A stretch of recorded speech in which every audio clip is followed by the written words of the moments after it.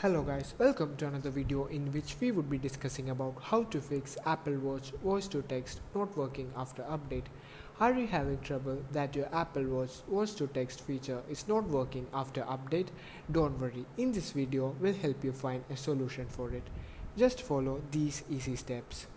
1. Check dictation settings. Open settings on your Apple Watch. Tap on General. Select Keyboard Ensure that the Enable dictation is toggled on. 2. Check language settings. On your Apple Watch, go to Settings. Tap on General.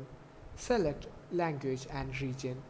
Verify that the language settings matches those on your iPhone. 3. Check Siri and dictation restrictions. Open settings on your Apple Watch. Tap on General. Select Restrictions. Ensure that the restrictions for Siri and dictation is not enabled. 4. Restart your Apple Watch. Press and hold the elongated side button. Swipe to power off. Wait for a minute. Press and hold the elongated side power button until you see the Apple logo.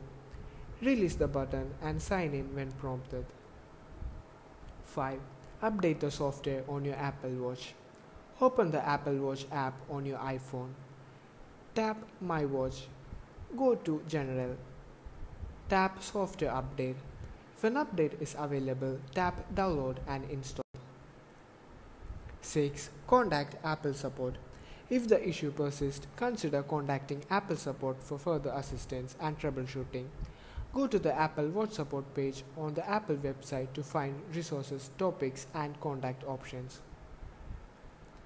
Thank you for watching.